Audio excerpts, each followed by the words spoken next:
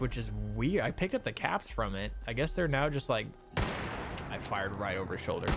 I did it again. Oh my god.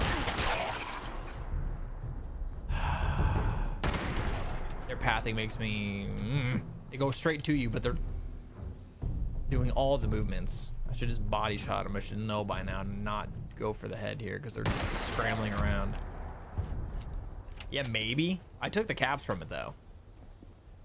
Because I also thought, thought thought the same thing that I was like, that's a little strange that it did not come off of the desk. Oh, you know what? I don't need that.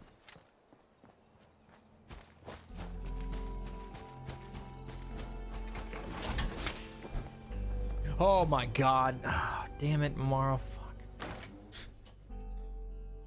Shit, man. Ah, oh, he scared me. I hate clowns so much. Damn it.